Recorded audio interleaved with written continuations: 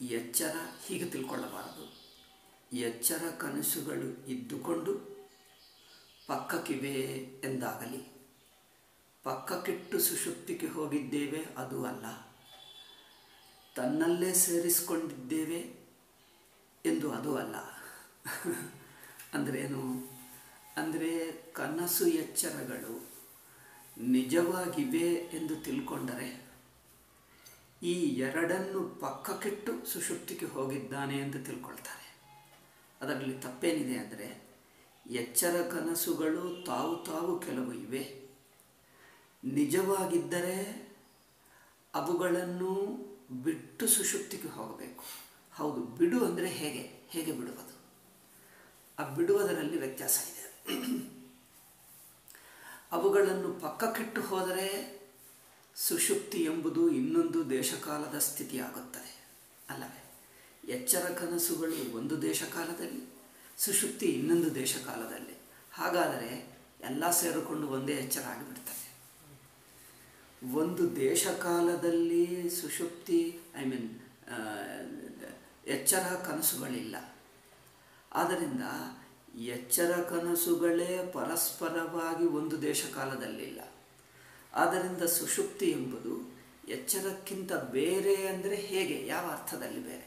ಅಥವಾ ದೆನ್ ಎಚ್ಚರ ಕನಸುಗಳನ್ನು ನುಂಗಿದೆ ತನ್ನ ಒಳಗೆ ಅಂದರೆ ತನ್ನ ಒಳಗೆ ಸೇರಿಸಿಕೊಂಡರೆ ಆ, ಇದು ಸ್ವಲ್ಪ ಮಟ್ಟಿಗೆ ಚೆನ್ನಾಗಿದೆ.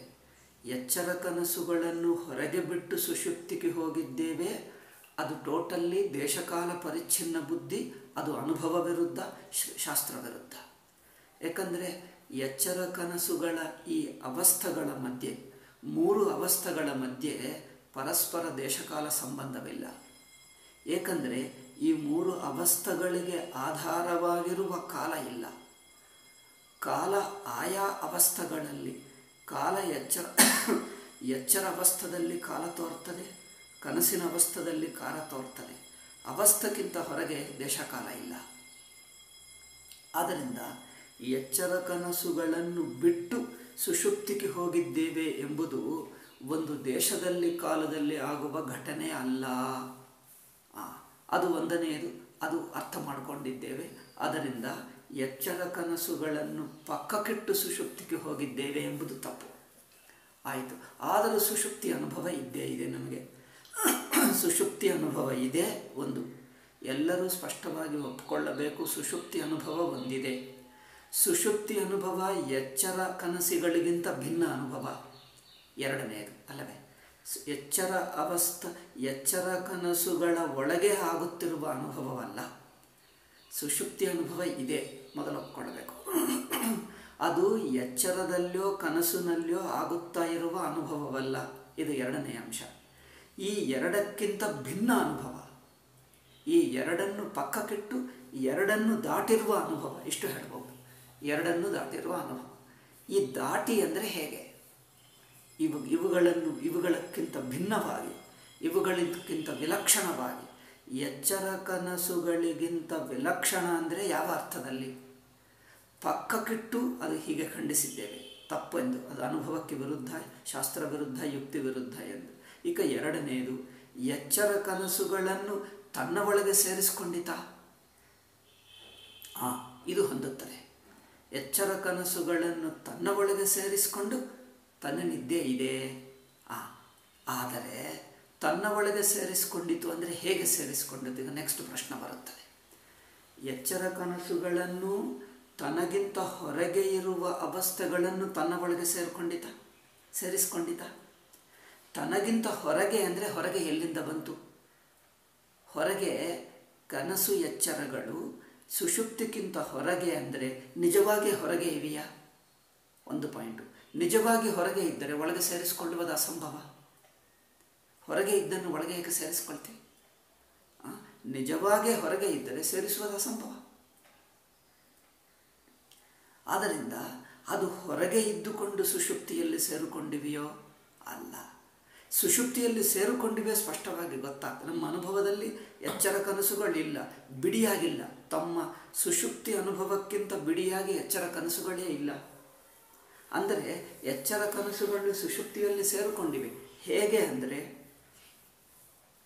ಮೊದಲು ಅದರಲ್ಲಿ ಸೇರಿಕೊಳ್ಳುವಕ್ಕೆ ಹೇಗೆ ಹೇಗೆ ಸೇರಿಕೊಳ್ಳುವುದಾಗ್ತದಂದರೆ, ಅವು ಮೊದಲೇ ಸುಷುಪ್ತಿಯಲ್ಲಿದ್ದರೆ ಮೊದಲೇ ಸುಷುಪ್ತಿಯಲ್ಲಿದ್ದುಕೊಂಡು ಹೊರಗೆ ಬಂದಂತೆ ಅನಿಸಿದ್ದರೆ ಮತ್ತೆ ಅಲ್ಲಿ ಸೇರಿಸುವುದಾಗುತ್ತದೆ. ಮೊದಲೇ ನೀರು ನೋಡಿ, ಅಲೆ ನೀರಿಗೆ ಸೇರಿದ್ದು ಅಲೆ. ಅಲೆ ನೀರಿಗೆ ಸೇರಿರುವುದರಿಂದ ನೀರಿನಲ್ಲಿ ಹುಟ್ಟಿದ್ದಾದರೆ ಮತ್ತೆ ನೀರಿಗೆ ಸೇರುವುದು ಅಂದರೆ ಹೊಂದುತ್ತದೆ. ಕಲ್ಲು ನೀರಿನಿಂದ ಹುಟ್ಟಿದ್ದಲ್ಲ, ಕಲ್ಲು ನೀರಿಗೆ ಹೊರಗಿನದು.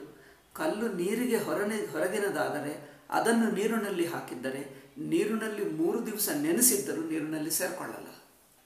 ಏಕೆಂದರೆ ಅದು ನೀರಿನ ಸ್ವಭಾವವಲ್ಲ, ನೀರಿಗಿಂತ ಹೊರಗಿನ ವಸ್ತು. ನೀರಿಗಿಂತ ಹೊರಗಿನ ವಸ್ತು ಏನು ಪ್ರಯತ್ನ ಮಾಡಿದರೂ ನೀರಿನಲ್ಲಿ ಸೇರಿಕೊಳ್ಳಲ್ಲ.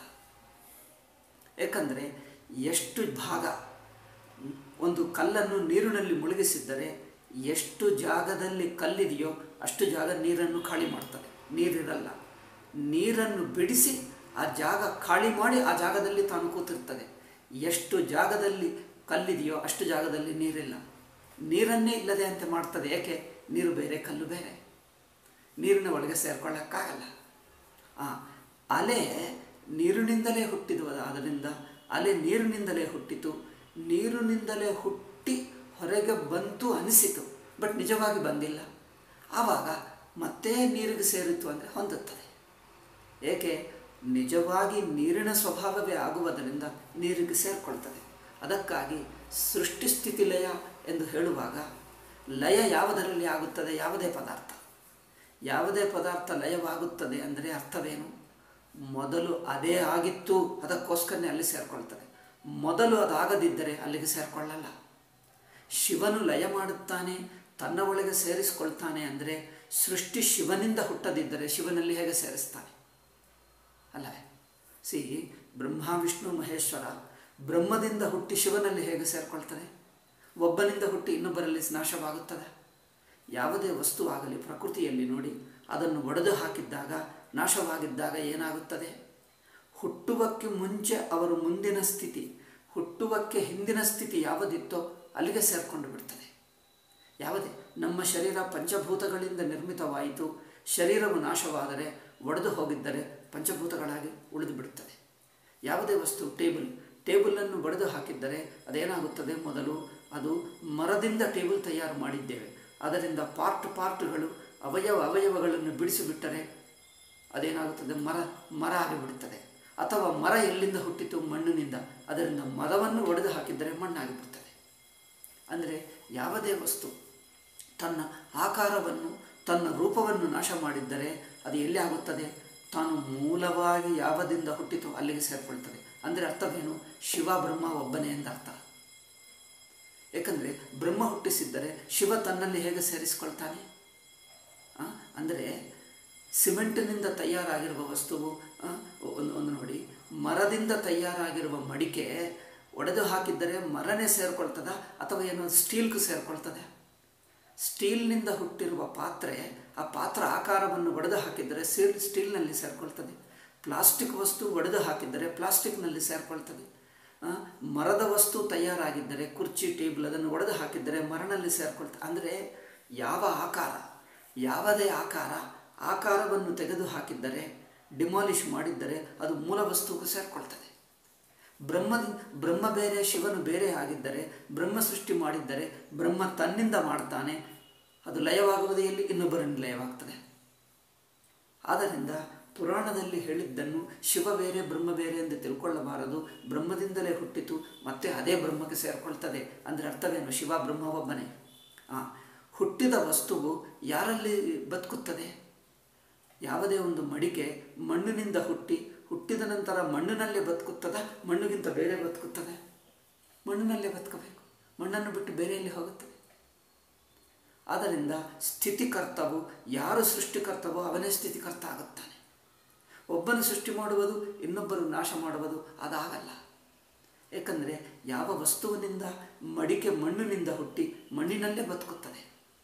ಸ್ಟೀಲ್ನಿಂದ ಹುಟ್ಟಿದ್ದು ಸ್ಟೀಲ್ನಲ್ಲೇ ಬದುಕುತ್ತದೆ. ಪ್ಲಾಸ್ಟಿಕ್ನಿಂದ ಹುಟ್ಟಿದ್ದು ಪ್ಲಾಸ್ಟಿಕ್ನಿಂದಲೇ ಬದುಕುತ್ತದೆ. ಆದ್ದರಿಂದ ವಿಷ್ಣು ಅಂದರೆ ಯಾರು ಅಂದರೆ ಬ್ರಹ್ಮನೇ ವಿಷ್ಣು. ಏಕೆ? ಬ್ರಹ್ಮದಿಂದ ಹುಟ್ಟಿ ವಿಷ್ಣು ಹೇಗೆ ಬದುಕುತ್ತಾನೆ? ಹಸು ಹಸು ಎಲ್ಲಿಂದ ಹುಟ್ಟುತ್ತದೆ? ತನ್ನ ತಾಯಿಯಿಂದ ನೋ ಅಲ್ಲ ಹಸು ಅಲ್ಲ ಅದಕ್ಕೆ ಹೇಳ್ತಾರೆ? ಕರು. ಕರು ಹಸುವಿನಿಂದ ಹುಟ್ಟಿದ ನಂತರ ಕೆಲವು ದಿವಸ ಹಾಲು ಕೊಡ್ತದೆ ನಂತರ ಹಸು ಸತ್ತು ಹೋದರೂ ಕರು ಬದುಕುತ್ತದೆ. ಅಂದರೆ ಅರ್ಥವೇನು? ಹಸು ಪಂಚಭೂತಗಳಿಂದ ಹುಟ್ಟಿತು ಅದಕ್ಕಾಗಿ ಬದುಕುತ್ತದೆ. ಬಟ್ ಪಂಚಭೂತಗಳನ್ನು ಬಿಟ್ಟು ಬದುಕುತ್ತದೆ ಬದುಕಕ್ಕಾಗಲ್ಲ. ಹಾಗೆ ಯಾವುದಿಂದ ಹುಟ್ಟಿತೋ ಅದರಲ್ಲೇ ಬದುಕುತ್ತದೆ ಅದನ್ನು ಬಿಟ್ಟು ಬದುಕಲ್ಲ. ಹಾಗೆ ವಿಷ್ಣು ಅಂದರೆ ಬ್ರಹ್ಮನೇ ವಿಷ್ಣು ಆಗುತ್ತಾನೆ ಹೊರತು ಬ್ರಹ್ಮ ಒಬ್ಬನು ಸೃಷ್ಟಿ ಒಬ್ಬನು ಮಾಡ್ತಾನೆ ರಕ್ಷಣೆ ಇನ್ನೊಬ್ಬರು ಮಾಡ್ತಾನೆ, ಅದು ಹೊಂದಲ್ಲ ಲಯವು ಆ ಆ ರೂಪವನ್ನು ಒಡೆದು ಹಾಕಿದರೆ ಎಲ್ಲಿ ಸೇರ್ಕೊಳ್ತದೆ? ಅಲ್ಲೇ ಸೇರ್ಕೊಳ್ತದೆ. ಯಾವುದು ಸೃಷ್ಟಿ, ಸೃಷ್ಟಿಗೆ ಕಾರಣವೋ, ಯಾವುದು ಸ್ಥಿತಿ ಕಾರಣವೋ, ಅದರಲ್ಲೇ ಸೇರ್ಕೊಳ್ತದೆ, ಇನ್ನೊಂದು ಕಡೆ ಸೇರಲ್ಲ. ಎಚ್ಚರ ಕನಸುಗಳು ಅದೃಶ್ಯವಾಗುತ್ತಾ ಇವೆಯೋ ಅಲ್ಲೇ ಸ್ಥಿರವಾಗುತ್ತಾ ಇವೆಯೋ ಮೊದಲು ಲೌಕಿಕರ ದೃಷ್ಟಿ ಏನೆಂದರೆ ನಾನು ಸುಷುಪ್ತಿಗೆ ಹೋದರೆ ಎಚ್ಚರ ಕನಸುಗಳು ಪಕ್ಕಕ್ಕಿರುತ್ತವೆ, ಅವು ಸ್ಥಿರವಾಗಿರುತ್ತವೆ, ತಾವು ತಾವಿರುತ್ತವೆ ಸುಷುಪ್ತಿಗಿಂತ ಸ್ವತಂತ್ರವಾಗಿರುತ್ತವೆ. ಸುಷುಪ್ತಿ ಬೇರೆ ವಸ್ತು, ಎಚ್ಚರ ಬೇರೆ ವಸ್ತು. ನೀವು ಸುಷುಪ್ತಿಗೆ ಹೋದರೆ ಪ್ರಪಂಚ ನಾಶವಾಗಲ್ಲ, ಪ್ರಪಂಚ ಇದ್ದೇ ಇರುತ್ತದೆ. ಇದು ಅತ್ಯಂತ ಪಾಮರರ ಲೌಕಿಕ ದೃಷ್ಟಿ. ಅವರು ಸುಷುಪ್ತಿ ಒಂದು ಬೇರೆ ವಸ್ತುವು, ಎಚ್ಚರ ಬೇರೆ ವಸ್ತು ಎಂದು ತಿಳ್ಕೊಳ್ತಾರೆ. ನೀವು ಈ ಊರು ಬಿಟ್ಟು ಇನ್ನೊಂದು ಊರಿಗೆ ಹೋದರೆ ಈ ಊರು ನಾಶವಾಗುತ್ತದೆ ಎಂದು. ಈ ಊರು ಹೀಗಿರ್ತದೆ ನೀವು ಆ ಊರಿನಲ್ಲಿರ್ತೀರಿ ನಾವು ಬೆಂಗಳೂರಿಗೆ ಹೋದರೆ ಹೊಳೆನರಸಪುರ ಹೀಗೆ ಇರುತ್ತದೆ, ಬೆಂಗಳೂರು ಇರುತ್ತದೆ. ಹಾಗೆ ಅಂದರೆ ಅಂದರೆ ಅರ್ಥವೇನು? ಹೊಳೆನರಸಪುರ ಒಂದು ದೇಶದಲ್ಲಿ ಕಾಲದಲ್ಲಿದೆ, ಬೆಂಗಳೂರು ಇನ್ನೊಂದು ದೇಶದಲ್ಲಿದೆ. ಈ ದೇಶದಲ್ಲಿ ಇದು, ಆ ದೇಶದಲ್ಲಿ ಅದು. ಅದೇ ಒಂದೇ ದೇಶದಲ್ಲಿದ್ದರೆ ಇದು ಒಡೆದು ಹಾಕಿ ಇನ್ನೊಂದು ಮಾಡಬೇಕಾಗ್ತದೆ. ಆ ದೇಶ ಬೇರೆ, ಈ ದೇಶ ಬೇರೆ. ಹಾಗೆ ಎಚ್ಚರ ದೇಶ ಬೇರೆ, ಸುಷುಪ್ತಿ ದೇಶ ಬೇರೆನಾ? ಹಾಗೇನಲ್ಲ. ಒಂದೇ ದೇಶ, ಒಂದೇ ಕಾಲ. ಅಂದರೆ ದೇಶಕಾಲಗಳು ಅವಸ್ಥೆಗೊಳಗೆ ಇವೆ. ನಾವು ಒಟ್ಟವಸ್ಥ ನೋಡ್ತಾ ಇದ್ದೇವೆ. ಒಟ್ಟವಸ್ಥ ನೋಡುವುದಂದರೆ ದೇಶಕಾಲಗಳನ್ನು ಒಳಗೊಂಡಿರುವ ಎಚ್ಚರ ಕನಸುಗಳನ್ನು ನೋಡ್ತೀವಿ. ಒಟ್ಟು ಅವಸ್ಥೆ ನೋಡಿದ್ದರೆ ನೀವು ಅವಸ್ಥಕ್ಕಿಂತ ಹೊರಗೆ ಬಂದರೆ ಅವಸ್ಥವೇ ಇಲ್ಲ. ನೀವು ಅವಸ್ಥವನ್ನು ನೋಡುವಾಗಲೇ, ಅನುಭವಿಸುವಾಗಲೇ ಅವಸ್ಥ, ಅವಸ್ಥದಿಂದ ಹೊರಗೆ ಬಂದರೆ ಅವಸ್ಥವೇ ಇರಲ್ಲ. ಅವಸ್ಥದಿಂದ ಹೊರಗೆ ಬರುವುದೇ ಸುಷುಪ್ತಿ ಇನ್ನೇನು ಅವಸ್ಥದಿಂದ ಹೊರಗೆ ಬರುವುದೆಂದರೆ ಸು, ಎಚ್ಚರ ಬಿಟ್ಟು ಸುಷುಪ್ತಿಗೆ ಬರುವುದು. ಹೊರಗೆ ಅಂದರೆ ಏನು? ಅರಿವು, ಸಾಕ್ಷಿ, ಅದೇ ಸುಷುಪ್ತಿ ಒಟ್ಟು ಅವಸ್ಥವನ್ನು ಅರಿವಾಗಿ ನೋಡಿದ್ದರೆ, ಅರಿವಿನ ಸೈಡ್ಗೆ ಬಂದರೆ ಅವಸ್ಥ ಮುಗಿಯುತ್ತದೆ. ಏಕೆಂದರೆ ಅವಸ್ಥ ಆ ಅರಿವಿನಲ್ಲೇ ತೋರ್ಕೊಂಡಿತು, ಆ ಅರಿವಾಗಿಟ್ಟರೆ ಅವಸ್ಥ ಬಿಡಿಯಾಗಿಲ್ಲ. ಹೀಗೆ ಅದು ಎಲ್ಲಿ ಸೇರಿಕೊಂಡಿತು ಅಂದರೆ ಒಟ್ಟವಸ್ತವನ್ನು ನೋಡಿ ನೀವು ಹೊರಗೆ ಬಂದರೆ ಆ ನಿನ್ನಲ್ಲಿ, ನೀನು ಹೊರಗೆ ಬಂದಿರುವ ನಿನ್ನಲ್ಲಿ ಅವಸ್ಥ ಬಿಡಿಯಾಗಿಲ್ಲ, ಏಕೆ ಅದು ನಿನ್ನಲ್ಲೇ ಸೇರ್ಕೊಂಡು ಬಿಡ್ತದೆ.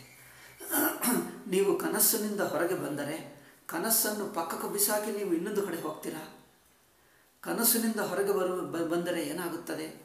ಕನಸಿನಿಂದ ಹೊರಗೆ ಬಂದರೆ ನಾನು ಕನಸಕ್ಕಿಂತ ಅತೀತನಾಗ್ತೀನಿ, ಕನಸು ನನ್ನಲ್ಲಿ ಸೇರ್ಕೊಂಡು ಬಿಡ್ತದೆ. ಏಕೆ ಅಂದರೆ ಕನಸು ನನ್ನಿಂದಲೇ ಹುಟ್ಟಿತು ನನ್ನಲ್ಲೇ ಬದುಕಿತು. ನಾನು ಕನಸಿನಿಂದ ಹೊರಗೆ ಬಂದರೆ ಕನಸು ನನ್ನಲ್ಲೇ ಸೇರಿಕೊಂಡು ಬಿಡ್ತದೆ. ಹಾಗೆಯೇ ಎಚ್ಚರ ನನ್ನಿಂದಲೇ ಹುಟ್ಟಿತು, ನನ್ನಿಂದಲೇ ಬದುಕಿತು, ನನ್ನಂದರೆ ವೈಶ್ವಾನರ. ವೈಶ್ವಾನರದಿಂದಲೇ ಹುಟ್ಟಿತು, ವೈಶ್ವಾನರನಲ್ಲೇ ಬದುಕುತ್ತದೆ. ವೈಶ್ವಾನರ ಬಿಟ್ಟರೆ, ಅಂದರೆ ಪ್ರಪಂಚ ಬಿಟ್ಟರೆ ವೈಶ್ವಾನರ ಒಳಗೆ ಸೇರಿಕೊಂಡು ಬಿಡ್ತದೆ. ಆವಾಗ ಅವನು ಅವನಿಗೆ ಸಾಕ್ಷಿ ಎಂದು ಹೆಸರು, ಅವನೇ ಸುಶುಕ್ತಿ ಆದ್ದರಿಂದ ಪ್ರಪಂಚ ಎಚ್ಚರ ಕನಸುಗಳನ್ನು ಹೊರಗೆ ಬಿಡಲ್ಲ ತನ್ನ ಒಳಗೆ ಸೇರ್ಕೊಂಡು ಸೇರಿಸ್ಕೊಳ್ತಾನೆ ತನ್ನ ಒಳಗೆ ಸೇರಿಸುವುದಂದರೆ ಮೊದಲು ತಾನೇ ಆಗಿರಬಹುದಿತ್ತು. ಅಂದರೆ ಹುಟ್ಟುವಕ್ಕೆ ಮುಂಚೆ ಎಲ್ಲಿತ್ತು? ತಾನೇ ಇತ್ತು. ಕನಸು ಹುಟ್ಟುವಕ್ಕೆ ಮುಂಚೆ ಎಲ್ಲಿತ್ತು? ನನ್ನಲ್ಲೇ ಇತ್ತು. ನನ್ನಲ್ಲೇ ಇತ್ತು ಅಂದರೆ ನನ್ನಲ್ಲೇ ಕಲ್ಪಿಸಿಕೊಂಡೆ. ಕಲ್ಪಿಸಿದಾಗ ಕಲ್ಪಿಸಿ ಕಲ್ಪಿಸಿ ನೋಡುವಾಗ ನನ್ನಲ್ಲೇ ಇರುತ್ತದೆ. ನಂತರ ಬಿಟ್ಟಾಗ ನನ್ನ ಒಳಗೆ ಸೇರಿಕೊಳ್ತದೆ ಹಾಗೆ ಎಚ್ಚರ ಯಾರಲ್ಲಿ ಸೇರಿಕೊಳ್ತದೋ ಅವನೇ ಸೃಷ್ಟಿಕರ್ತ. ಅಂದರೆ ಸುಷುಪ್ತಿಯಲ್ಲಿ ಸೇರಿಕೊಂಡಿತಂದರೆ ಮೊದಲು ಸುಷುಪ್ತಿಯಿಂದಲೇ ಹುಟ್ಟಿತು ಸುಷುಪ್ತಿಯಲ್ಲೇ ತೋರ್ಕೊಂಡಿತು ಸುಷುಪ್ತಿಯಲ್ಲೇ ಲಯವಾಯಿತು. ಸುಷುಪ್ತಿ ಅಂದರೆ ಆಕಾರವಿಲ್ಲದ, ಪರಿಮಿತಿ ಇಲ್ಲದ, ಇಷ್ಟು ಅಷ್ಟು ಇಲ್ಲದ ಇರವು. ಸುಷುಪ್ತಿ ಅಂದರೆ ಏನು? ಇಷ್ಟು ಅಷ್ಟು ಇಲ್ಲದ ಇರವು, ಇಷ್ಟು ಅಷ್ಟು ಇಲ್ಲದ ಅರಿವು ಅಷ್ಟೇ. ಅದು ಸುಷುಪ್ತಿ ಎಂಬುದು ಯಾವ ತರಹ ಅರಿವು ಅಂದರೆ ನಾನು, ನೀನು, ಅದು, ಇದು, ಇಷ್ಟು ಅಷ್ಟು ಎಂಬ ಯಾವ ವಿಂಗಡವಿಲ್ಲದ, ಒಟ್ಟಾಗಿರುವ ಇರವು. ಒಂದೇ ಎರವಿನಲ್ಲಿ ನಾನು, ನೀನು, ಅದು, ಇದು ಎಂದು ಕಲ್ಪಿಸಿಕೊಂಡಿದ್ದೇವೆ. ನಾನು, ನೀನು, ಅದು, ಇದು ಎಂದು ಕಲ್ಪಿಸಿಕೊಂಡಿರುವ ಅರಿವು ಒಟ್ಟಿತ್ತು. ಆ ಒಟ್ಟರವಿನ ದೃಷ್ಟ್ಯ ಸುಶುಕ್ತಿ ಎಚ್ಚರ ಕನಸುಗಳು ಬಿಡಿಯಾಗಿಲ್ಲ. ಏಕೆ? ಆ ಒಟ್ಟು ಅರಿವಿನಲ್ಲೇ ಸೇರ್ಕೊಂಡು ಬಿಟ್ಟಿತು. ಇದು ಇದರಿಂದ ಏನಾಗ್ತದೆ ಅಂದರೆ ಸುಶುಕ್ತಿ ಹುಟ್ಟುವಕ್ಕೆ ಮುಂಚೆ ಲೌಕಿಕ ದೃಷ್ಟಿ ಅಂತ ನೋಡೋಣ. ಮಡಿಕೆ ಹುಟ್ಟುವಕ್ಕೆ ಮುಂಚೆ ಎಲ್ಲಿತ್ತು? ಹುಟ್ಟುವಕ್ಕೆ ಮು, ಹಿಂದಿನ ಸ್ಥಿತಿಗೆ ಹೋಗಿ. ಹುಟ್ಟುವಕ್ಕೆ ಹಿಂದೆ. ಮಡಿಕೆ ಹುಟ್ಟುವಕ್ಕೆ ಹಿಂದಿನ ಸ್ಥಿತಿಗೆ ಹೋಗಿ ಮಣ್ಣು ಮುದ್ದೆ ಇತ್ತು. ಮಡಿಕೆ ಆ ಮಣ್ಣು ಮುದ್ದೆನೇ ಆಗಿತ್ತು. ಅಂದರೆ ಮಣ್ಣಿನಲ್ಲೇ ಇತ್ತು. ಮುದ್ದೆ ಅಂದರೆ ಮಣ್ಣು ಅಂತ ಅರ್ಥ. ಮಣ್ಣಿನಲ್ಲೇ ಇತ್ತು. ಆ ಮಣ್ಣಿನಲ್ಲೇ ತೋರ್ಕೊಂಡಿತ್ತು. ಹಾಗೆ ಎಚ್ಚರ ಕನಸುಗಳು ತೋರ್ಕೊಂಡುವಕ್ಕೆ ಮುಂಚೆ ಎಲ್ಲಿತ್ತು? ಸುಷುಪ್ತಿಯ ಇದ್ದರು. ಅಂದರೆ ಅರ್ಥವೇನು? ತೋರ್ಕೊಂಡಿಲ್ಲ ಎಂದು ಅರ್ಥ ಅಷ್ಟೇ. ಸುಷುಪ್ತಿಯಲ್ಲಿ ತೋರ್ಕೊಂಡಿಲ್ಲ. ತಾನಿದ್ದ, ತೋರ್ಕೊಂಡಿಲ್ಲ ಅಷ್ಟೇ. ಮಡಿ ಮಣ್ಣು ಮಣ್ಣು ಯಾವುದು ಮಡಿಕೆಗೆ ಏನಾಗುತ್ತದೆ ಮಣ್ಣು? ಮಡಿಕೆ ತೋರದೇ ಇರುವ ಮಣ್ಣಿ, ಮಡಿಕೆ ತೋರದೇ ಇರುವ ಮಡಿಕೆ ಅಂದರೆ ಮಡಿಕೆ ತೋರದೇ ಇರುವ ಮಡಿಕೆಯ ಸ್ಥಿತಿಗೆ ಮಣ್ಣೆಂದು ಹೆಸರು. ಮಣ್ಣಂದರೆ ಏನು ಮಡಿಕೆಯೇ, ಮಡಿಕೆ ತೋರದೇ ಇರುವ ಮಡಿಕೆ. ಮಡಿಕೆ ತೋರಲ್ಲ ಬಟ್ ಮಡಿಕೆ ಇರುತ್ತದೆ. ಹೇಗೆ? ಮಡಿಕೆ ಆಕಾರ ಬಿಟ್ಟು ಆ ಮೂಲ ಸ್ವರೂಪವಿರುತ್ತದಲ್ಲ, ಅಲ್ಲಿತ್ತು, ಆ ರೂಪವಿತ್ತು. ಹಾಗೆ ಎಚ್ಚರ ಕನಸುಗಳು ಎಚ್ಚರ ಕನಸುಗಳಾಗಿ ತೋರದೇ ಇದ್ದವು. ಅಂದರೆ ಇರುವಾಗಿದ್ದವು. ಆ ಇರುವಿನಲ್ಲೇ ಎಚ್ಚರ ಕನಸುಗಳು ತೋರಿತು.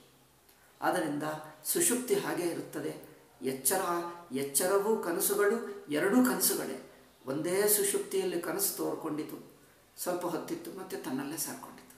ಅಂದರೆ ಸುಷುಪ್ತಿ ಸ್ವತಂತ್ರ, ಎಚ್ಚರ ಕನಸುಗಳು ತನ್ನಲ್ಲೇ ಕಲ್ಪಿತವಾಗಿ ತನ್ನಲ್ಲೇ ತೋರ್ಕೊಂಡು ತನ್ನಲ್ಲೇ ಮುಳುಗಿ ಇದು ಸುಷುಪ್ತಿ ಇಷ್ಟರ ಮಟ್ಟಿಗೆ ಸುಷುಪ್ತಿ ಹೇಳಿದ್ದೇವೆ ಅಂದರೆ ಅದೇ ಸುಷುಪ್ತಿಯನ್ನು ಬಗೆ ಬಗೆ ಬಗೆ ಬಗೆ ದೃಷ್ಟ್ಯ ಇನ್ನೂ ಸ್ವಲ್ಪ ಸೂಕ್ಷ್ಮ ಸೂಕ್ಷ್ಮ ಏಕೆಂದರೆ ಮೊದಲನೇ ದಿವಸ ಕೇಳಿದ್ದು ಅದು ಸ್ವಲ್ಪ ಮೇಲೆ ಮೇಲೆ ಆಗುತ್ತದೆ ಎರಡನೇ ದಿವಸ ಇನ್ನೂ ಸ್ವಲ್ಪ ಆಳವಾಗಿ. ಮೂರನೇ ದಿವಸ ಇನ್ನೂ ಸ್ವಲ್ಪ ಆಳವಾಗಿ. ಅಂದರೆ ಮೊದಲನೇ ದಿವಸ ಕೇಳಿದ್ದನ್ನು ನಂತರ ಇಡೀ ದಿವಸ ಮನನ ಮಾಡಿಕೊಳ್ಳಬೇಕು. ಮನನ ಮಾಡಿಕೊಂಡ್ರೆ ಮುಂದಿನ ದಿವಸ ಇನ್ನೊಂದು ಆಳ ಹೇಳಕ್ಕಾಗ್ತದೆ. ಅದೇ ದಿವಸ ಎಲ್ಲ ಹೇಳಿದ್ದರೆ ಅದು ಹೇಳಿದ ಹೇಳ್ತಾನೇ ಇದ್ದೀವಿ ಅದು ಹತ್ತುತ್ತಾ ಇಲ್ಲ. ಎರಡನೇ ದಿವಸ ಇನ್ನು ಸ್ವಲ್ಪ ಆಳ. ಅದು ಮರಣ ಮಾಡಿಕೊಂಡ ನಂತರ ಮೂರನೇ ದಿವಸ ಇನ್ನು ಸ್ವಲ್ಪ ಆಳ. ಹಾಗೆ ಅದು ಇನ್ನು ಹೆಚ್ಚೆಚ್ಚೆಚ್ಚು ಅಂದರೆ ಆವಾಗ ಸುಷುಪ್ತಿ ಸ್ಪಷ್ಟವಾಗ್ತದೆ. ಇಷ್ಟೆಲ್ಲ ಹೇಳಿದ್ದೇವೆ ಅಂದರೆ ಹೊರಗಿನಿಂದ ಹುಟ್ಟಿದ್ದಲ್ಲ, ಹೊರಗಿನಿಂದ ಅಂದರೆ ಎಚ್ಚರ ಕನಸನ್ನು ಹೊರಗೆ ಪಕ್ಕಕ್ಕಿಟ್ಟು ಹೋಗಿದ್ದಲ್ಲ. ಓಕೆ, ಹೊರಗಿನಿಂದ ತಂದು ತನ್ನೊಳಗೆ ಸೇರಿಸ್ಕೊಂಡಿದ್ದಲ್ಲ. ಹೊರಗೆ ಬಿಟ್ಟು ತನ್ನಿದ್ದಕ್ಕೂ ಹೋಗಲ್ಲ ಹೊರಗಿನಿಂದ ತಂದು ತನ್ನೊಳಗೆ ಸೇರಿಸಿಕೊಂಡಿದ್ದಲ್ಲ. ಮತ್ತೇನು? ತನ್ನಲ್ಲಿ ತನ್ನಿಂದಲೇ ಹುಟ್ಟಿ ತನ್ನಲ್ಲೇ ತೋರಿಕೊಂಡು ತನ್ನಲ್ಲೇ ಸೇರಿಸಿಕೊಂಡ.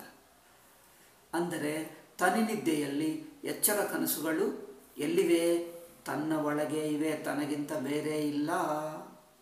ಇಷ್ಟು ಮಾತ್ರ ಪ್ರಾಜ್ಞಪಾದಕ್ಕೆ ಬಂದಿದ್ದೇವೆ. ಅದು ಪಕ್ಕಕ್ಕಿಟ್ಟು ಮಧ್ಯದಲ್ಲಿ ಒಂದು ಚಿಕ್ಕ ಸಂದೇಹ. ಈ ಸಂದೇಹ ಏಕೆ ಅಂದರೆ ಎಚ್ಚರ ಕನಸುಗಳನ್ನು ಇನ್ನೂ ಸ್ವಲ್ಪ ಸೂಕ್ಷ್ಮವಾಗಿ ವ್ಯಾಪಕವಾಗಿ ಅರ್ಥ ಮಾಡಿಕೊಳ್ಳುವುದಕ್ಕೆ ಇದೊಂದು ಪ್ರಶ್ನೆ. ಈಗ ನಾವು ಹೇಳ್ತಾ ಇದ್ದೀವಿ. ಇದು ಎಚ್ಚರ ಕನಸುಗಳನ್ನು ಇನ್ನೂ ಸ್ವಲ್ಪ ಸ್ಪಷ್ಟವಾಗಿ, ಇನ್ನೂ ಸ್ವಲ್ಪ ಸೂಕ್ಷ್ಮವಾಗಿ, ಇನ್ನೂ ಸ್ವಲ್ಪ ವ್ಯಾಪಕವಾಗಿ. ಇನ್ನೂ ವ್ಯಾಪಕವಾಗಿ ಏಕೆ? ಅಂದರೆ ವ್ಯಾಪಕ ಅಂದರೆ ಸರಿಯಾಗಿ ಎಂದರ್ಥ ಇನ್ನೂ ಎಚ್ಚರ ಕನಸುಗಳನ್ನು ಸರಿಯಾಗಿ ತಿಳ್ಕೊಂಡರೆ ಅವು ಸುಷುಪ್ತಿಯಲ್ಲಿ ಸೇರಿಕೊಳ್ಳುವುದು ಸರಿಯಾಗಿ ಅರ್ಥವಾಗ್ತದೆ. ಎಚ್ಚರ ಕನಸುಗಳನ್ನು ಸರಿಯಾದ ದೃಷ್ಟಿಯಿಂದ ಸರಿಯಾದ ದೃಷ್ಟಿಯಿಂದ ತಿಳ್ಕೊಂಡರೆ ಆ ಸರಿಯಾದ ದೃಷ್ಟಿಯಿಂದ ಅದು ಸುಷುಪ್ತಿಯಲ್ಲಿ ಸೇರಿಕೊಂಡಿವೆ ಎಂಬ, ಸೇರಿಕೊಂಡಿವೆ ಎಂಬುದು ಅರ್ಥವಾಗ್ತದೆ. ಇಲ್ಲದಿದ್ದರೆ ಅದು ಸುಷುಪ್ತಿ ಸೇರಿಕೊಂಡಿದೆ ಎಂದು ಹೇಳಿದ್ದರೂ ಒಂದು ಪಾಕ್ಷಿಕ ಸೇರಿಸ್ತಾನೆ, ಪಾಕ್ಷಿಕ ಪಕ್ಕ ಕಟ್ತಾನೆ. ಪೂರ್ತಿ ಪೂರ್ತಿ ತನ್ನಲ್ಲಿ ಸೇರಿಸಲ್ಲ, ಸೇರಿಸಕ್ಕಾಗ್ತಾ ಇಲ್ಲ.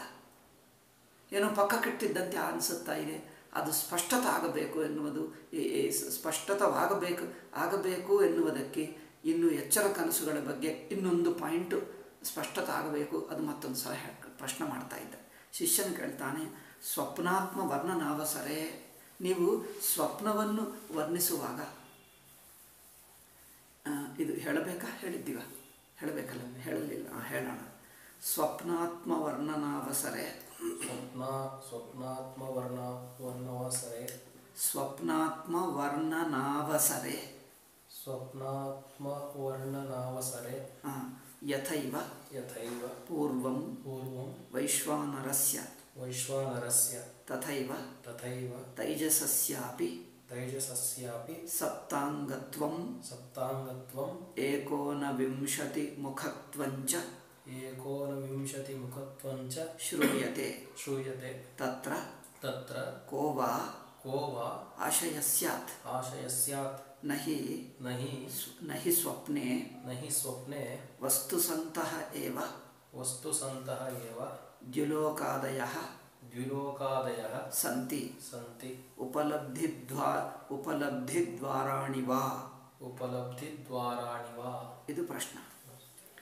ಶಿಷ್ಯನ ಪ್ರಶ್ನೆ ಏನಂದರೆ ಸ್ವಪ್ನಾತ್ಮವನ್ನು ವರ್ಣನಾವಸರೆ ಸ್ವಪ್ನಾತ್ಮ ಸ್ವಪ್ನಾತ್ಮ ಎನ್ ಎನ್ನು ಅಂದರೆ ತೈಜಸವನ್ನು.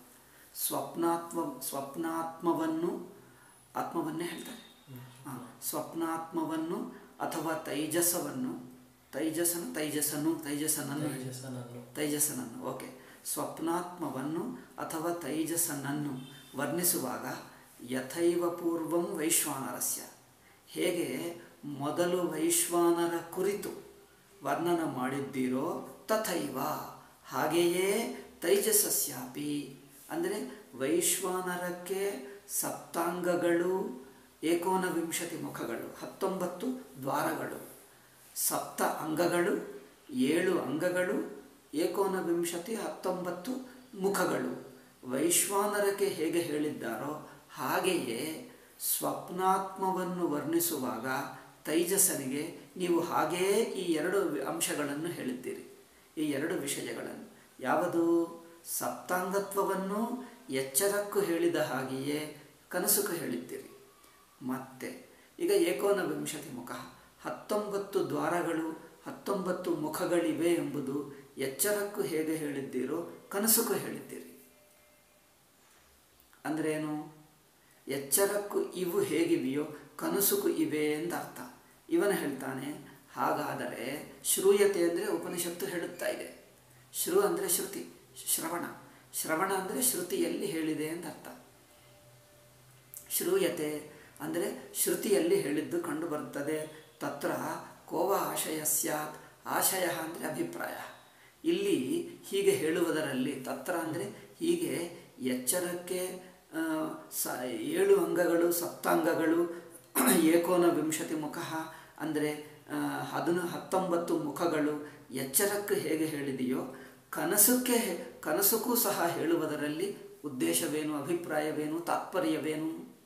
ಅಂದರೆ ತತ್ರ ಕೋವಾ ಆಶಯ ಏನು ಆಶ ಇದ್ದಿರಬಹುದು?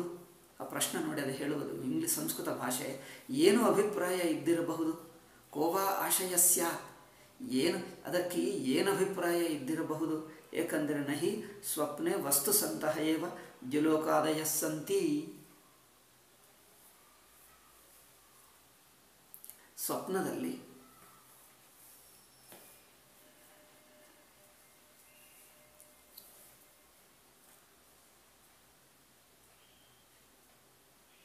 ಸ್ವಪ್ನದಲ್ಲಿ ವಸ್ತು ಸಂತಹ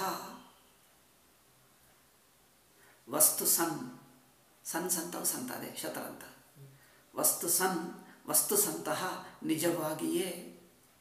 ವಸ್ತು ಅಂದರೆ ವಾಸ್ತವಿಕತ.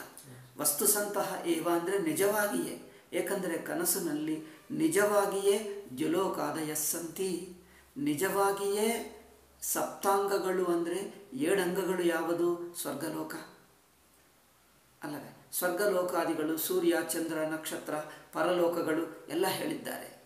ಅಂದರೆ ಕನಸಿನಲ್ಲಿ ನಿಜವಾಗಿ ಸ್ವರ್ಗಲೋಕ, ಪರಲೋಕಾದಿಗಳಿವೆಯಾ?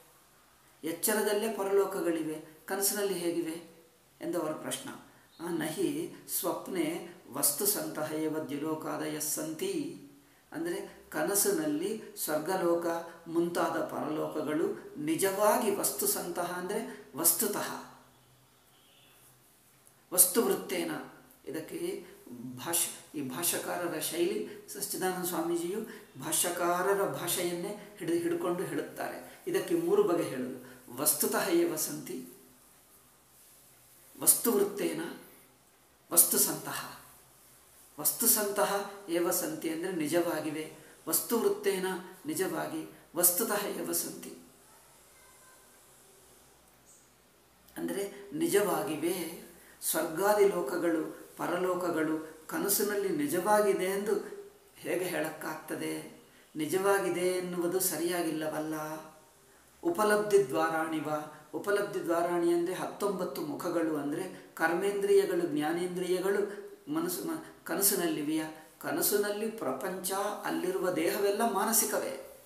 ಅವರೇನು ಹೇಳ್ತಾರೆ? ಕನಸಿನಲ್ಲಿರುವ ಪ್ರಪಂಚವೂ ಮಾನಸಿಕ ಪ್ರಪಂಚ, ದೇಹವೂ ಮಾನಸಿಕ ದೇಹ, ಇಂದ್ರಿಯಗಳು ಮಾನಸಿಕ ಇಂದ್ರಿಯಗಳೇ ಅಷ್ಟೇ.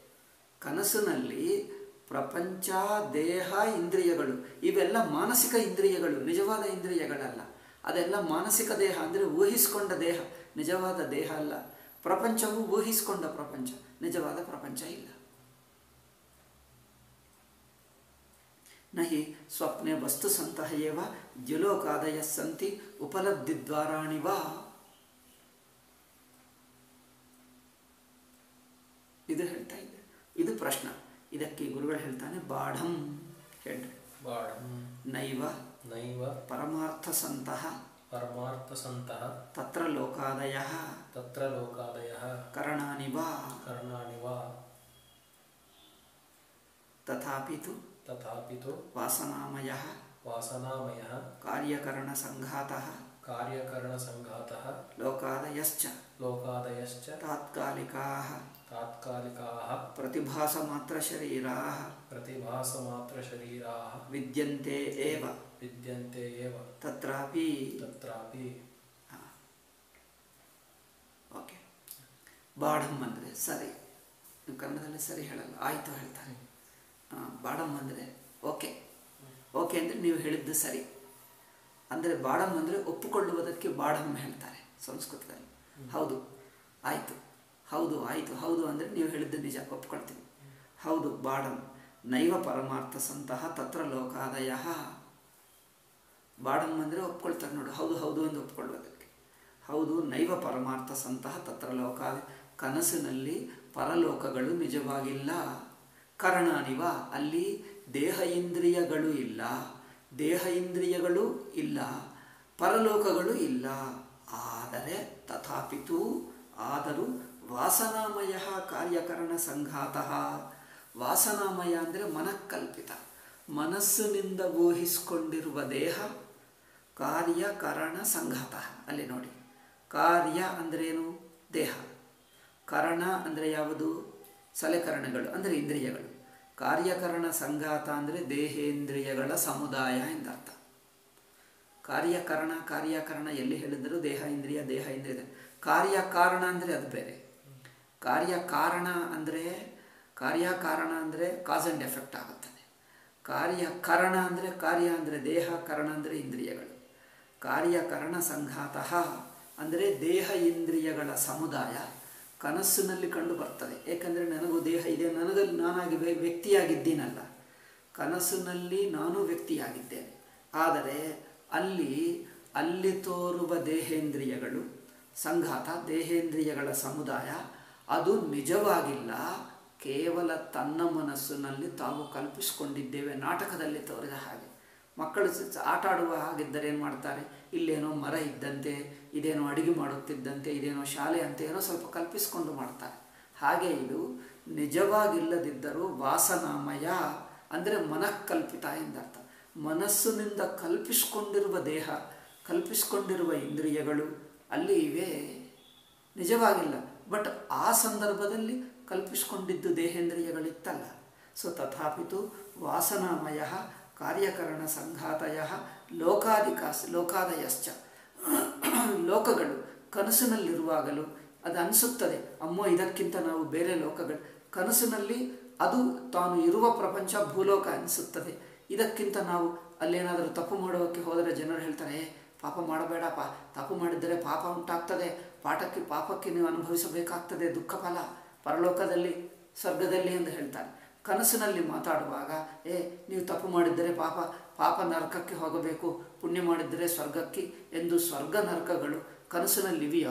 ಅಥವಾ ಅವರು ಯಾರಾದರೂ ಪಾಪ ಮಾಡುವಕ್ಕೆ ಹೋದರೆ, ಯಾರಿಗಾದರೂ ಅನ್ಯಾಯ ಮಾಡುವಕ್ಕೆ, ಹತ್ಯೆ ಮಾಡುವಕ್ಕೆ ಹೋದರೆ ಇನ್ನೊಬ್ಬರು ಇನ್ನೊಬ್ಬರು, ಏನಪ್ಪ, ಪಾಪ ಮಾಡ್ತಾ ಇದ್ದೀವಿ, ನೀವು ನರಕಕ್ಕೆ ಹೋಗ್ತೀವಿ ಎಂದು ಎಂದು ಹೇಳಿದ್ದರೆ, ಇವನೇನು ಹೇಳ್ತಾನೆ? ಇದೆಲ್ಲ ಕನಸಪ್ಪ, ಏನಿಲ್ಲ, ಪುಣ್ಯ, ಪಾಪನೇ ಇಲ್ಲ, ಏನಾದರೂ ಮಾಡ್ಕೊಳ್ಳಬಹುದು. ಸುಮ್ಮನೆ ಕಲ್ಪನಾ? ಸುಮ್ಮನೆ ಕಲ್ಪನದಲ್ಲಿ ಯಾರನ್ನು ಸಾಯಿಸಿದ್ದರೂ ಪಾಪ ಇಲ್ಲ ಹೇಳ್ತಾನೆ. ಹೇಳಲ್ಲ. ಅಮ್ಮ ಹೇಳ್ಕೊಳ್ತಾನೆ. ಅಂದರೆ ಕನಸು ಕಲ್ಪಿತವಾಗಿದ್ದರೂ ಕಲ್ಪಿತ ಲೋಕದಲ್ಲಿ ಕಲ್ಪಿತ ಪುಣ್ಯ ಪಾಪಗಳು, ಕಲ್ಪಿತ ದೇಹೇಂದ್ರಿಯಗಳು, ಕಲ್ಪಿತ ಪರಲೋಕಗಳು ಅಲ್ಲಿಯೂ ಇವೆ. ಒಂದು ನಾಟಕದಲ್ಲಿ ಈ ನಗರದಿಂದ ಆ ನಗರಕ್ಕೆ ಹೋಗ್ತಾನೆ ಅಲ್ಲವೇ? ಈ ನಗರ ಬಿಟ್ಟು ಆ ನಗರಕ್ಕೆ ಹೋಗ್ತಾನೆ ಅಂದರೆ ಅದು ನಾಟಕ ಕಲ್ಪಿತ. ಕಲ್ಪಿತದಲ್ಲಿ ಈ ನಗರ, ಅಯೋಧ್ಯ ನಗರ, ಕಾಶಿ ನಗರ, ದಿಲ್ಲಿ ನಗರ ಇದ್ದೇ ಇರುತ್ತದೆ. ದೆಹಲಿ ನಗರ ಅಂದರೆ ಕಲ್ಪಿತದಲ್ಲಿ ಕಲ್ಪಿತ ಲೋಕಗಳಿರುತ್ತವೆ. ಟಿ ವಿಯಲ್ಲಿ ನೋಡಿದರೆ ಕಲ್ಪಿತವೇ ಆದರೆ ಆ ಕಲ್ಪಿತ ಲೋಕಗಳು, ಕಲ್ಪಿತ ಮನುಷ್ಯರು ಕಲ್ಪಿತದ ಇದ್ದೇ ಇರುತ್ತದಲ್ಲ. ಕಲ್ಪಿತ ಬೆಟ್ಟ, ಕಲ್ಪಿತ ನದಿ ಇದ್ದೇ ಇರುತ್ತದೆ. ಹಾಗೆ ಇದು ಹಾಗೆ ತತ್ರಾಪಿ ವಾ, ತಥಾಪಿ ವಾಸನಾಮಯ ಕಾರ್ಯಕರಣ ಸಂಗಾತ ಲೋಕಾದಯಶ್ಚ ತಾತ್ಕಾಲಿಕ. ಇವೆಲ್ಲ ತಾತ್ಕಾಲಿಕ ಅಂದ್ರೇನು ಆ ನೋಡುವವರೆಗಿರುತ್ತವೆ ಎಚ್ಚರ, ಇದು ಎಚ್ಚರ ದೃಷ್ಟಿಯ ಹೇಳುವ ಮಾತು. ಎಚ್ಚರ ಏನು? ನಾವು ನೋಡುವಾಗ ಮನೆ ಇರುತ್ತದೆ. ನಾನು ಇಲ್ಲಿಂದ ಬೆಂಗಳೂರಿಗೆ ಹೋದರೆ, ನೋಡದಿದ್ದರೆ, ಕಣ್ಣು ಮುಚ್ಚಿಕೊಂಡ್ರೆ ಮನೆಯೇ ಇಲ್ಲ ಎಂದು ಹೇಳಬಹುದಾ? ಎಚ್ಚರದಲ್ಲಿ ಹೇಳಕ್ಕಾಗಲ್ಲ. ಎಚ್ಚರದಲ್ಲಿರುವಾಗ ನಾವು, ಮನೆ ಇದೆ, ಮನೆ ಬಿಟ್ಟು ಹೊರಗೆ ಬಂದೆ, ಆದರೂ ಮನೆ ಕಂಡು ಬರ್ತದೆ. ಕಣ್ಣು ಮುಚ್ಚಿಕೊಂಡ್ರೆ ಮನೆ ಇಲ್ಲ. ಹಾಗೆ ಕನಸಿನಲ್ಲಿ ಮಾತ್ರ ನಾನು ಬಿಟ್ಟು ಹೋದರೂ ಮನೆ ಇರುತ್ತದೆ ಹೇಳೋಕ್ಕಾಗಲ್ಲ. ಎಚ್ಚರ ದೃಷ್ಟಿಯ ಹೇಳುವ ಮಾತು ಇದು. ಎಚ್ಚರ ದೃಷ್ಟಿಯ ನಾನು ಬೆಂಗಳೂರಿನಲ್ಲಿದ್ದರೆ ಬೆಂಗಳೂರು ಇರುತ್ತದೆ. ಬೆಂಗಳೂರು ಬಿಟ್ಟು ಒಳನೇಶ್ವರ ಬಂದರೆ ಬೆಂಗಳೂರು ಇಲ್ಲದೆ ಹೋಗುತ್ತದೆ ಎಂದು ಹೇಳ್ಬೋದಾ ಹಾಗೇನಾಗಲ್ಲ ನಾನು ನೋಡದಿದ್ದರೂ ಬೆಂಗಳೂರು ಇರುತ್ತದೆ. ಹಾಗೆ ಹಾಗೆ ಇಲ್ಲಿಯೂ ಕನಸಿನಲ್ಲಿ ಕನಸಿನಲ್ಲಿ ನಾನು ನೋಡದೇ ಇರುವಾಗ ಪ್ರಪಂಚವಿರುತ್ತದೆ ಎಂದು ಹೇಳೋಕ್ಕಾಗಲ್ಲ. ನಾನು ಕನಸು ನೋಡುವವರೆಗಿರುತ್ತದೆ. ಕನಸು ನೋಡಿಬಿಟ್ಟರೆ ಪ್ರಪಂಚವಿಲ್ಲ, ಅದು ಒಪ್ಕೊಳ್ತೀವಿ. ಆದರೆ ನೋಡುವವರೆಗಾದರೆ ಇರುತ್ತದೋ ಅಲ್ವೋ? ಅದು ತಾತ್ಕಾಲಿಕ ತತ್ಕಾಲ ಅಂದರೆ ಅರ್ಥವೇನು? ನೋಡುವವರೆಗೂ, ನಾನು ಕನಸಿನಲ್ಲಿರುವವರೆಗೂ, ಅಂದರೆ ಅಲ್ಲಿ ಕಾರ್ಯಕರಣ ಸಂಗಾತ ಅಂದರೆ ದೇಹೇಂದ್ರಿಯಗಳು, ಮತ್ತು ಪರಲೋಕಗಳು ಕನಸಿನಲ್ಲಿರುವವರೆಗಿರುತ್ತವೆ, ನಾನು ನೋಡುವವರೆಗಿರುತ್ತವೆ. ತಾತ್ಕಾಲಿಕ ಪ್ರತಿಭಾಸ ಮಾತ್ರ ಶರೀರ. ಅಂದರೆ ನಿಜವಾಗಿಲ್ಲ. ಪ್ರತಿಭಾಸ ಮಾತ್ರ ಶರೀರ. ಪ್ರತಿಭಾಸ ಅಂದರೆ ತೋರಿಕೆ. ಈ ಈ ಈ ಟೇಬಲ್ ಅಂದರೆ ಇದನ್ನು ಪ್ರತಿಭಾಸ ಹೇಳಲ್ಲ. ಹಗ್ಗವನ್ನು ನೋಡಿದ್ದರೆ ಹಾವನ್ನೇ ನೋಡ್ತೀವಿ. ನಾವು ಲೌಕಿಕ. ಲೌಕಿಕ ಹಗ್ಗ ನೋಡಿದ್ದರೆ ಅದು ದರ್ಶನ ಆಗುತ್ತದೆ. ಹಗ್ಗ ದರ್ಶನ ಆಗುತ್ತದೆ. ಹಾವು?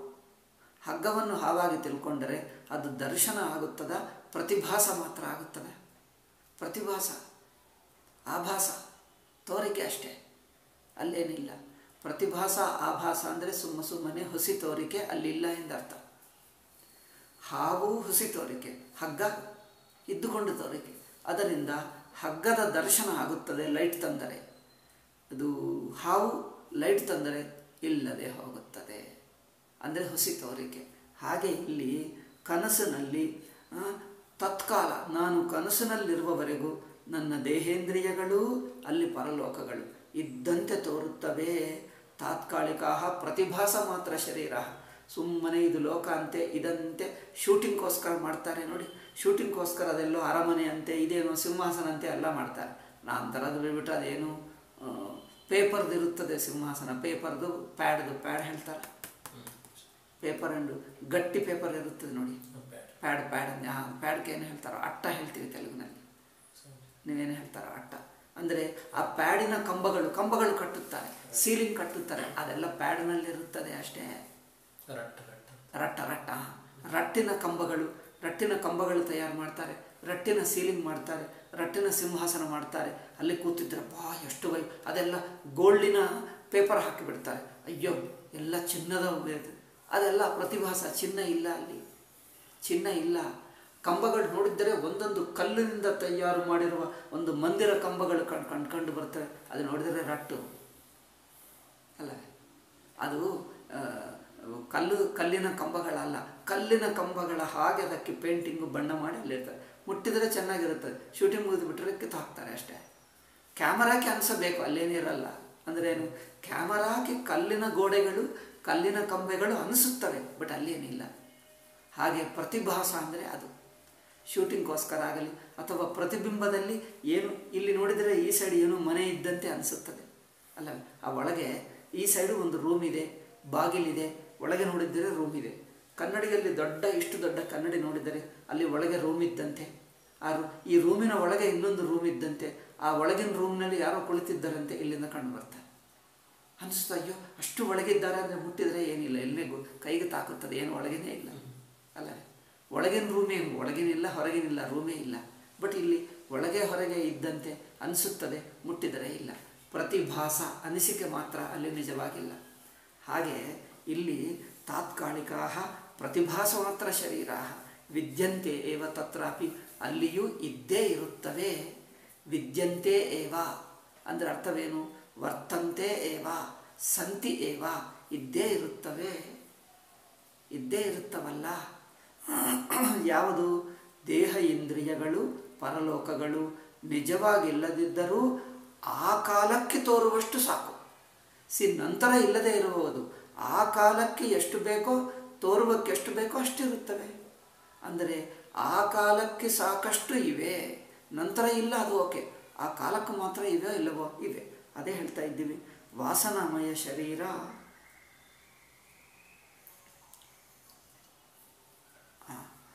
ಓಕೆ. ತೇನ ಸಪ್ತಾಂಗತ್ವಂ ಏಕೋನವಿಂಶತ್ವ ಮುಂಚ ಆಭಾಸ ರೂಪಮಪೇಕ್ಷ ವಿಶೇಷಣ ನವಿರಿದ್ಯತೆ. ಆದ್ದರಿಂದ ಅಲ್ಲಿ ಆಭಾಸ ರೂಪವನ್ನಿಟ್ಟುಕೊಂಡು ಅಂದರೆ ಆಭಾಸ ಅಂದರೆ ತೋರಿಕೆ ಮಾತ್ರ, ಅನಿಸಿಕೆ ಮಾತ್ರ.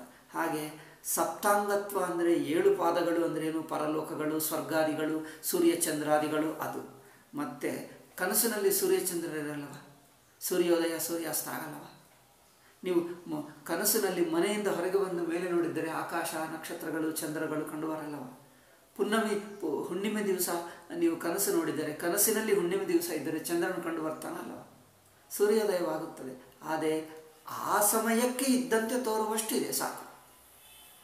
ಆದ್ದರಿಂದ ಸಪ್ತಾಂಗತ್ವಂ, ಅಲ್ಲಿಯೂ ಏರು ಅವಯವಗಳಿರುವುದು ಏಕೋನವಿಂಶತಿ ಮುಖಂ ಮತ್ತೆ ದೇಹೇಂದ್ರಿಯಗಳಿರುವುದು, ಇದೆಲ್ಲ ಆಭಾಸ ರೂಪಮಪೇಕ್ಷ ತೋರುವ, ತೋರುವಕ್ಕೆ ಸಾಕಷ್ಟು ಇವೆ. ಅಂದರೆ ತೋರುತ್ತದೆ ಎಂದರ್ಥ. ತೋರಿಕೆಕ್ಕೆ ಸಾಕಷ್ಟು ಎಷ್ಟಿದೆಯೋ ಅಷ್ಟನ್ನು ಮನಸ್ಸಿನಲ್ಲಿಟ್ಕೊಂಡು ಸಪ್ತಾಂಗ ಎಂದು ಹೇಳಿದ್ದಾರೆ ಅಷ್ಟೇ. ಅಷ್ಟನ್ನು ಕನಸಿನಲ್ಲಿ ನಿಮಗೆ ಎಷ್ಟು ಆವರೆಗೂ ಅಲ್ಲಿರುವವರೆಗೂ ಇರು ಇದ್ದಂತೆ ಅನಿಸುತ್ತದಲ್ಲ. ಆಯಿತು. ಅದನ್ನೇ ಇಟ್ಕೊಂಡು ಇಲ್ಲಿ ಕನಸಿನ ಅವಸ್ಥೆಗೆ, ತೈಜಸ್ಸನಿಗೆ ಸಪ್ತಾಂಗ ಏಕೋನವಿಂಶತಿ ಮುಖ ಎಂದು ಎರಡು ವಿಶೇಷಣಗಳನ್ನು ಕೊಟ್ಟರು ತಾವನ್ ಮಾತ್ರೇಣಾಪಿ ಆತ್ಮನಃ ಪಾರಮಾರ್ಥಿಕಂ ರೂಪಂ ಅದ್ವೈತಮಿತಿ ಸ್ಥಾಸ್ಯತ್ತೇವ ಅದು ಪ್ರಪಂಚವು ಕಲ್ಪಿತವಾದರೆ, ಕನಸಿನ ಪ್ರಪಂಚ ಕಲ್ಪಿತವಾದರೆ, ಈಗ ತಾನಿರುವುದು ಒಂದೇ, ಸಾಕ್ಷಿ ಮಾತ್ರ. ಆತ್ಮ ಒಂದೇ ಇದೆ, ಅನಾತ್ಮ ಪ್ರಪಂಚವೆಲ್ಲ ಕಲ್ಪಿತ ಎಂದು ಹೇಳಿದ್ದರೆ ಆತ್ಮ ಮಾತ್ರ ಇರುತ್ತದೆ. ಅಂದರೆ ಆತ್ಮ ಮಾತ್ರ ಇದೆ ಅಂದರೆ ಆತ್ಮ ಅದ್ವಿತೀಯ, ಮಿಕ್ಕ ಪ್ರಪಂಚ ಕಲ್ಪಿತ. ಕಲ್ಪಿತ ಪ್ರಪಂಚದಿಂದ ಎರಡು ವಸ್ತುಗಳು ಎಂದು ಹೇಳಬಹುದಾ? ಒಂದಿದೆ, ಒಬ್ಬ ಮನುಷ್ಯ ಇದ್ದಾನೆ. ಇನ್ನೊಬ್ಬರು ಫೋಟೋ ಇಟ್ಟಿದ್ದೀವಿ. ಇಬ್ಬರು ಮನುಷ್ಯರಾಯಿತು ಎಂದು ಹೇಳಬಹುದಾ? ಒಬ್ಬ ಮನುಷ್ಯ ಇದ್ದಾನೆ, ಇನ್ನೊಬ್ಬರದು ಸುಮ್ಮನೆ ಟಿ ವಿಯಲ್ಲೋ ಏನೋ ತೋಡುತ್ತಾ ಇರುವ ಅವನು ಇವನು ಸೇರಿಸಿ ಇಬ್ಬರು ಮಾಡಬಹುದಾ? ಹೇಳಕ್ಕಾಗಲ್ಲ. ಏಕೆ? ಅವನು ಕಲ್ಪಿತ ಆಗುವುದರಿಂದ ಕೊನೆಗೆ ಒಬ್ಬನೇ ನಿಜವಾಗಿದ್ದಾನೆ. ಆದ್ದರಿಂದ ಕನಸಿನಲ್ಲಿ ಕಲ್ಪಿತ ಪ್ರಪಂಚ ತೋರುವುದರಿಂದ ನಿಜವಾಗಿರುವುದು ಆತ್ಮ ಆದ್ದರಿಂದ ತ, ತಾವನ್ ಮಾತ್ರೇಣಾಪಿ ಆತ್ಮನಃ ಪಾರಮಾರ್ಥಿಕಂ ರೂಪಂ. ಆತ್ಮದ ನಿಜಸ್ವರೂಪ ಅದ್ವೈತಮಿತಿ ಸಾಸ್ಯತ್ಯೇವ. ಆತ್ಮದ ಪಾರಮಾರ್ಥಿಕ ರೂಪ ನಿಜವಾದ ರೂಪ ಅದ್ವೈತವೇ ಎಂಬುದು ಮಾತ್ರ ನಿಲ್ಲುತ್ತದೆ. ನಿಲ್ಲುತ್ತದೆ ಅಂದರೆ ಖಂಡಿತವಾಗಲ್ಲ. ಖಂಡಿತವಾಗಲ್ಲ ಅಂದರೆ ಅಲ್ಲ, ಅದು ನಿಮ್ಮ ಕನ್ನಡ ಖಂಡಿತ ಬೇರೆ. ಖಂಡಿತ ಅಂದರೆ ಅವಶ್ಯವಾಗಿ ಅಂತ ಹೇಳ್ತಾರೆ. ಅದು ಕನ್ನಡದ ಖಂಡಿತ ಬೇರೆ. ಖಂಡಿತ ಅಂದರೆ ಡಿಸ್ಮಿಸ್ ಆಗಲ್ಲ, ನಿರಾಕರಿಸಲ್ಪಡಲ್ಲ.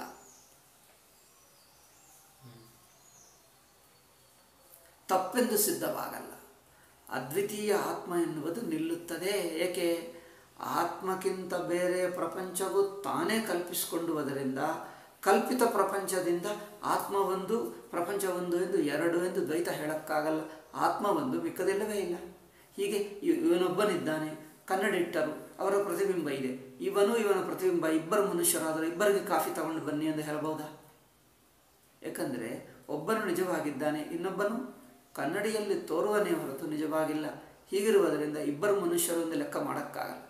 ಇನ್ನೊಬ್ಬರು ಕನ್ನಡಿಯಲ್ಲಿ ತೋರಿದ್ದರು, ಇನ್ನೊಬ್ಬನಿದ್ದಂತೆ ತೋರಿದ್ದರು ಇವನು ಒಬ್ಬನೇ ಎಂದು ಕೊನೆಗೆ ಲೆಕ್ಕ ಮಾಡ್ತೀವಿ ಹಾಗೆ ಆತ್ಮಗೆ ಕನಸಿನಲ್ಲಿ ಪ್ರಪಂಚ ತೋರಿದರೂ ಅದು ಕೇವಲ ಕಲ್ಪಿತವಾಗುವುದರಿಂದ ಆತ್ಮ ಒಂದೇ ಅದ್ವೈತವೇ.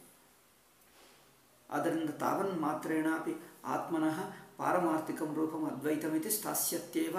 ನಹಿ ಮಾಯಾಮಯೇನ ಮಾಯಾಮಯೇನ ವಾಸನಾ ಪ್ರಪಂಚೇನ ಮಾಯಾಮಯವಾದ ಕಲ್ಪಿತ ಪ್ರಪಂಚದಿಂದ ಏನಾಗ್ತದೆ ಪ್ರಪಂಚೇನ ತತ್ ಸಾಕ್ಷಿಣಃ ಸದ್ವಿತೀಯತ್ವಂ ಶಕ್ಯ ಶಂಕ್ಯಂ ಅದರ ಸಾಕ್ಷಿ ನಿಜವಾಗಿ ಸದ್ವಿತೀಯ ಅಂದರೆ ಸಾಕ್ಷಿಗೆ ದ್ವೈತವಿದೆ ಅಂತ ಹೇಳೋಕ್ಕಾಗಲ್ಲ. ಏಕೆ? ಸಾಕ್ಷಿ ಆತ್ಮಕ್ಕಿಂತ ಬೆರಡನೇದಿಲ್ಲ. ಎರಡನೇದು ಕಲ್ಪಿತ ಹೇಳಿದ್ವಲ್ಲ ಕಲ್ಪಿತ ಅಂದರೆ ನಿಜವಾಗಿಲ್ಲ ಎಂದರ್ಥ. ಇಲ್ಲ ಅಂದರೆ ನಿಜವಾಗಿರುವುದು ಒಂದೇ. ಹೀಗೆ ಸದ್ವಿಯಿತ್ತು ಶಕ್ಯ ಸಂಖ್ಯಂ ಇನ್ನೊಂದು ಇದ್ದಂತೆ ನೋಡಿ ಆತ್ಮ ದ್ವೈತವಾಯಿತು ಎಂದು ಸ ತಿಳ್ಕೊಳ್ಳಬಾರದು. ಏಕೆಂದರೆ ಸ್ವಪ್ನ ದೃಷ್ಟಪುತ್ರೇನ ಸಪುತ್ರತ್ವಮಿವ ದೇವದತ್ತಸ್ಯ. ಉದಾಹರಣೆ ಚೆನ್ನಾಗಿದೆ. ದೇವದತ್ತನಿಗೆ ಮದುವೆ ಆಯಿತು, ಎಷ್ಟೋ ವರ್ಷ ಆಯಿತು, ಆದರೆ ಮಕ್ಕಳು ಹುಟ್ಟಿಲ್ಲ. ಆವಾಗ ಅವರು ಏನಾಯ್ತಂದ್ರೆ ಅಯ್ಯೋ ಮಕ್ಕಳೆಲ್ಲ ಮಕ್ಕಳೆಲ್ಲ ಮಕ್ಕಳೆಲ್ಲ ತುಂಬ ಯೋಚನೆ ಮಾಡಿಕೊಂಡರೆ ಕನಸಿನಲ್ಲಿ ಅವರಿಗೆ ಮಗು ಹುಟ್ಟಿದ ಎಂದು ಕನಸಾಯಿತಂತೆ. ಮಗು ಹುಟ್ಟಿದ ಎಂದು ಕನಸಾದರೆ ಎಚ್ಚರಕ್ಕೆ ಬಂದಾಗ ನನಗೆ ಮಗು ಇದ್ದಾನೆ, ಏಕೆ ನನಗೆ ಎಚ್ಚರದಲ್ಲಿ ಹುಟ್ಟಿದೆ ಎಂದು ಎಚ್ಚರ, ಕನಸಿನ ಮಗುವಿನಿಂದ ಎಚ್ಚರದಲ್ಲಿ ತಾನು ತಂದೆಯಾಗಿ ತನಗೆ ಮಗು ಇದ್ದಾನೆ ಎಂದು ಹೇಳ್ಕೊಳ್ಳಬಹುದಾ? ಅಂದರೆ ಸ್ವಪ್ನಕ್ಕೆ ಸ್ವಪ್ನ ಪುತ್ರೇಣ ಸ್ವಪ್ನ ದೃಷ್ಟ ಪುತ್ರೇಣ. ಸ್ವಪ್ನದಲ್ಲಿ ನೋಡಿರುವ ಪುತ್ರದಿಂದ ಯಾರು ನಿಜವಾಗಿ ಸಪುತ್ರನಾಗಲ್ಲ. ಸಪುತ್ರನು ಅಂದರೆ ಮಕ್ಕಳಿರುವವನಾಗಲ್ಲ. ದೇವದಸ್ತಸ್ಯ ಅದ್ ಆತ ಏವ ಶ್ರುತ್ಯಂತರೇ ಅದರಿಂದ ಇನ್ನೊಂದು ಶ್ರುತಿಯಲ್ಲಿ ಕಠೋಪನಿಷತ್ತಿನಲ್ಲಿ ಹೇಳ್ತದೆ, ಸ್ವಪ್ನಾಂತಂ ಜಾಗರಿತಾಂತಂ. ಇದು ಹೇಳಬೇಕಾ ನಾವು? ಅತ ಏವ ಶ್ರುತ್ಯಂತರೇ ಅತ್- ಅತ ಏವ ಶ್ರುತ್ಯಂತರೆ ಸ್ವಪ್ನಾಂತಂ ಜಾಗರಿತಾಂತಂ ಸ್ವಪ್ನಾಂತಂ ಜಾಗರಿತಾಂತಂ ಚೋಭೌ ಏನಾನು ಪಶ್ಯತಿ ಚೋಭೋ ಏನಾನು ಪಶ್ಯತಿ ಮಹಾಂತಂ ವಿಭುಮಾತ್ಮಾನಂ ಮಹಾಂತಂ ವಿಭುಮಾತ್ಮಾನಂ ಮತ್ವಾ ಧೀರೋ ನ ಶೋಚತಿ ಮತ್ವಾ ಧೀರೋ ನ ಶೋಚತಿ ಇತಿ ಇತಿ ಜಾಗರಿತ प्रपंचत्वं। स्वप्ने व्यभिचरति। स्वप्ने व्यभिचरति। जागरिते च। जागरिते च। स्वप्नदृष्टं स्वप्नदृष्टं। स्वप्नदृष्टं। प्रपञ्चाभासोपाधिकत्वं प्रपञ्चाभासोपाधिकत्वम् इत्यतः इत्यतः। तदुभयसाक्षिणं तदुभयसाक्षिणम्। अहमेव सः। अहमेव सः। इति इति। परमात्मानन्यत्वेन ಪರಮಾತ್ಮಾನನ್ಯತ್ವೇನ ಆತ್ಮಾನಂ ಮತ್ವಾ ಆತ್ಮಾನಂ ಮತ್ವಾ ನ ಶೋಚತಿ ನ ಶೋಚತಿ ಇತಿ ಇತಿ ಅವಸ್ಥಾದ್ವಯ ಪರೀಕ್ಷೇಣ ಅವಸ್ಥಾದ್ವಯ ಪರೀಕ್ಷೇಣ ಪರಮಾತ್ಮ ವಿಜ್ಞಾನೆ ಪರಮಾತ್ಮವಿಜ್ಞಾನೆ ಪರಿಸಮಾಪ್ತಿ ಪರಿಸಮಾಪ್ತಿ ಜಿಜ್ಞಾಸಾಯಾ ಜಿಜ್ಞಾಸಾಯ ಉಕ್ತ ಉಕ್ತ್ವಾ ಐತಿ ಇದೆಲ್ಲ ಸ್ವಲ್ಪ ದೊಡ್ಡದೇ ಅಂಶ ಇದು ಒಂದು ದಿವಸ ಸಾಕಾಗಲ್ಲ ನಾಳೆ ಹೇಳೋಣ ಅಂದರೆ ಇದು ಕಲ್ಪಿತ ಪ್ರಪಂಚದಿಂದ ಆತ್ಮ ಸದ್ವಿತೀಯವೂ ಆಗಲ್ಲ, ಅದ್ವಿತೀಯನೇ ಇರುತ್ತಾನೆ. ಈ ಪಾಯಿಂಟನ್ನು ಈ ಅವಸ್ಥೆಗಳ ಮೂಲಕ ಇನ್ನು ಚೆನ್ನಾಗಿ ವಿವರಣೆ ಮಾಡ್ತಾನೆ. ನಾಳೆ ಓಂ ಶಾಂತಿ ಶಾಂತಿ ಶಾಂತಿ. ಹರಿ ಓಂ ಶ್ರೀ ಗುರುಭ್ಯೋ ನಮಃ. ಹರಿ ಓಂ.